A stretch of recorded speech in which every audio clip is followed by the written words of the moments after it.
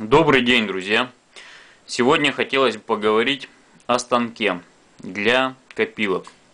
Из чего состоит, как выглядит, габаритные размеры. Так, начнем по порядку.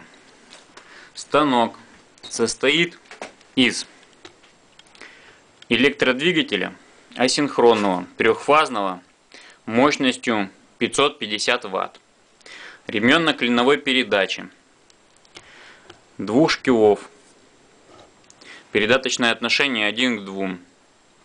Количество оборотов у электродвигателя 1370. Редуктора. Редуктор червячный. Одноступенчатый. Почему червячный редуктор? а потому что, когда будете крепить форму к станку, внутренняя рамка не будет проворачиваться обязательно обращаю внимание, что редуктор должен быть червячным. Дальше идет выходной вал, на котором крепится рамка станка, цепная передача. Поближе покажу. Значит, первая звездочка большая, установлена через проставку. Вот она, проставка. Что собой представляет проставка? Проставка это труба диаметром, по-моему, 60 мм. Точно не скажу. На, черте, на чертеже есть размеры. Фланец. При помощи этого фланца, эта проставка, э, крепится к корпусу редуктора через его стандартные родные болты. Выходной вал. Дальше идет рамка. Рамка выполнена из профтрубы 60 на 40 миллиметров.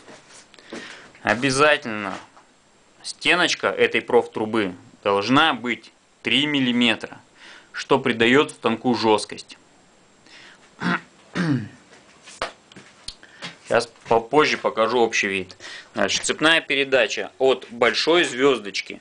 Извиняюсь, что трясет, по-другому мне снимать не получается. А, идет к малой передаточные отношения, все передаточные отношения есть на чертеже. Дальше. Вал. Видно, да? На подшипниках. Подшипники были заказаны на AliExpress. Подшипники крепятся к станку, к раме станка через профтрубу 40 э, на 20, стенка 2, и полоску металла с нарезанной в ней резьбой, толщина полосы 6 э, мм.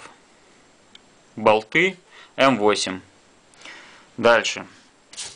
Зубчатая коническая передача. Зубчатая коническая косозубая передача. Взята она от болгарки, от малой болгарки. В редукторе э, корпус, да, правильно. В корпусе редуктора малой болгарки установлена эта передача. Оттуда она просто была изъята. Так, дальше подшипники. Подшипники тоже приобретались на AliExpress. Их 4 штуки. С каждой стороны стоят по 2. Один. Не фокусируется, да? Второй. Ну, вот так вот будет видно. А, отсюда вид, чтобы было понятно. Отойду подальше. Общий вид станка. Внизу также установлены два подшипника.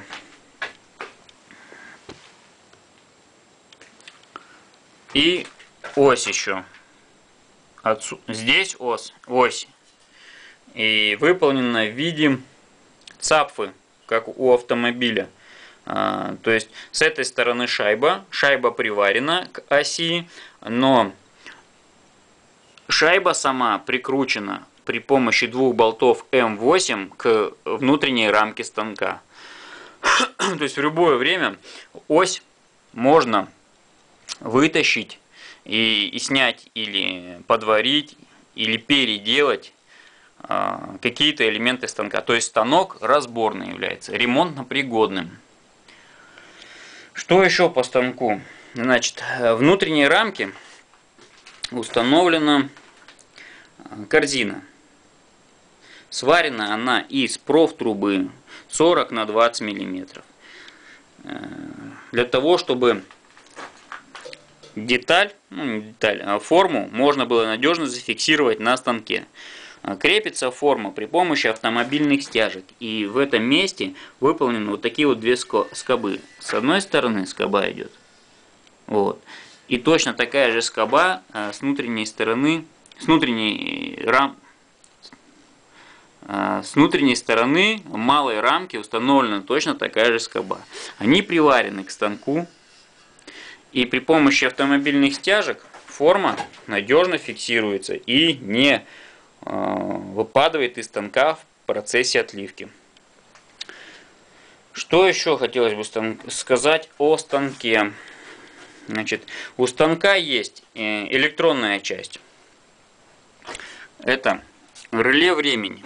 Установлено сейчас 600 секунд. А, когда запускаю станок, время пошло.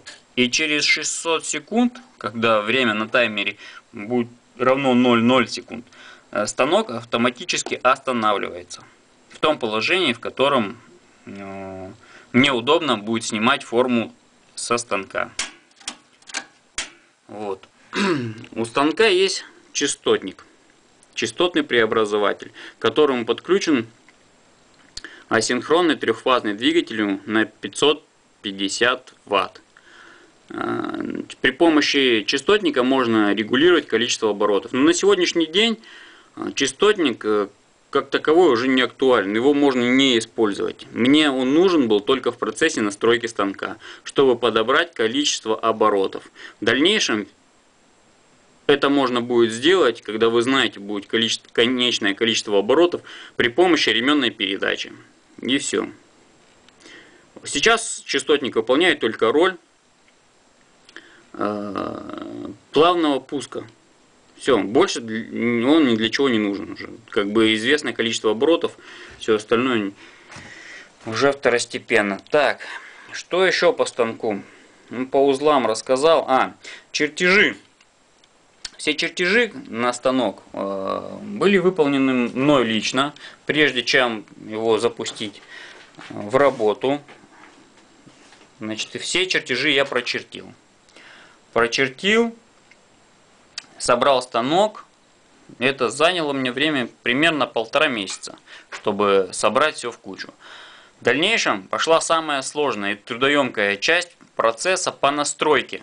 Для настройки станка мне понадобилось время, а в течение полу... Нет, в течение двух лет я его настраивал, чтобы правильно подобрать передаточные отношения между двумя рамками. Вот на это время у меня ушло два года. Вот так. Сейчас покажу отливки, которые получаются на станке. Вот пес.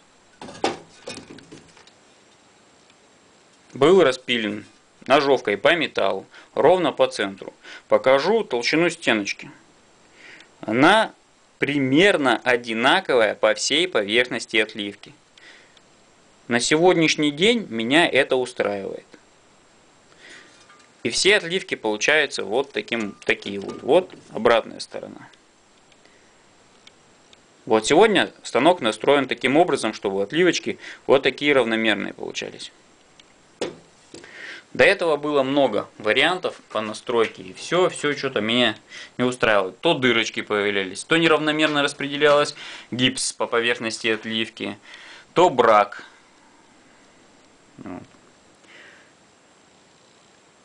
Вот такое видео. Значит, потому что много спрашивают, а, как, чего, по узлам, покажи подробнее, сделай фотографии. Значит, показываю, снимаю специальное видео где, чего и как. Э, видео будет состоять из нескольких частей, скорее всего, потому что надо показать, как креплю форму к станку, э, как отливаю, ну, еще пару моментов, нюансов. А, что хотел сказать. Есть, у меня чертежи есть в наличии.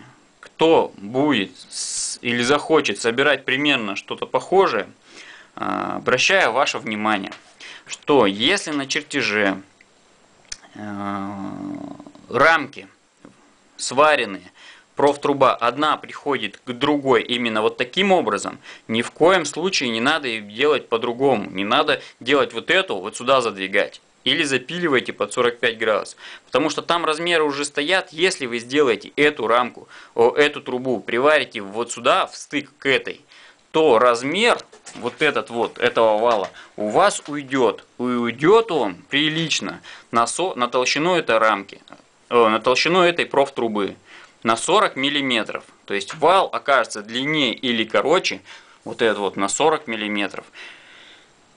И вы очень огорчитесь при сборке, когда у вас размеры не сойдутся, межосевое расстояние отсюда до сюда не, сойду, не сойдется, и, вы, и это будет печально. Это или перетачивать полностью вал, это дорого, или переваривать рамку, что тоже не очень приятно. Так что обращаю особое внимание, если профтруба приходит в эту плоскость на чертеже, то надо так и делать. Ни в коем случае не по-другому. Так, ну еще, значит, как крепится основная рамка большая к станку при помощи болта всего одного через шайбы. Здесь отверстие, отверстие диаметром 32, рамка насажена на вал, выход, э, выходной, выходной вал червячного редуктора, и все это фиксируется при помощи болта М10, что не позволяет рамке проворачиваться по отношению к валу и сохраняет жесткость всей конструкции. Да, то есть рамка крепится всего с одной стороны. Вот здесь только, вот в этом месте. Больше у нее креплений нигде нет. А,